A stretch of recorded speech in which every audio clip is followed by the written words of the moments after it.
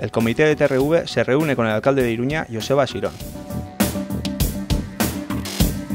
En esta reunión se ha tratado la delicada situación en la que la dirección de TRV ha dejado a la planta de Landaven, tras el anuncio de un ERE de 250 despidos y la amenaza de reducción de condiciones laborales.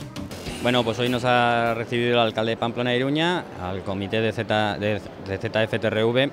nos ha mostrado su solidaridad, nos ha mostrado su apoyo desde el ayuntamiento, nos ha invitado a una comisión el lunes donde le daremos un manifiesto de adhesión eh, que él y su equipo de gobierno han dicho que van a aprobar y que y que el lunes esperemos que aprueben el resto de grupos